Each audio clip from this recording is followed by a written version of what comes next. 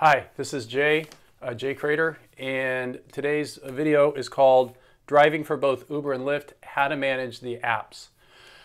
So, this is kind of a unique situation. You may be just Uber and you may be just Lyft, so this wouldn't really apply to you. But if you're like me and you want to maximize how much money you can make, you want to have both Uber and Lyft running at the same time. So you you can be an Uber driver and a Lyft driver at the same time. So the way that works is you're going to have, I have an iPhone 6 and um, I have both apps. So I have the Uber driver app and I have the uh, Lyft app. And you want to have them both on at the same time, uh, ready, ready to ping.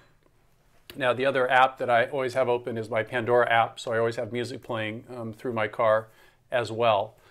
And once either one of those ping, you're going to hear a sound. Okay, you're gonna you're gonna be notified that somebody wants a ride, whether it's from Uber or from Lyft. The first thing you want to do is accept that ride, and within the next second or two, you want to shut down the other app. okay, so you want to go offline. So, for example, if I'm driving and I suddenly see a, a Lyft request, I generally will pull over um, so I don't cause any any accidents. Um, pull over as quick as I can. I will then accept the Lyft ride. I will then uh, click on the um, Uber app and it will go offline. Okay, you want to get offline because you don't want somebody from Uber requesting a ride and you're not accepting because that's going to hurt your acceptance rate. Okay, so that's very important as quickly as you can. I got stuck a few times because I forgot to shut down the other one.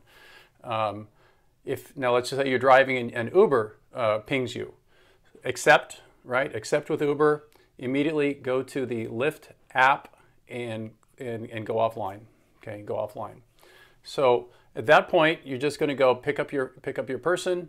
You're going to take them to where they're going. You're going to you know complete the ride, and then bring back up the app that you had shut down, so you have both both running again.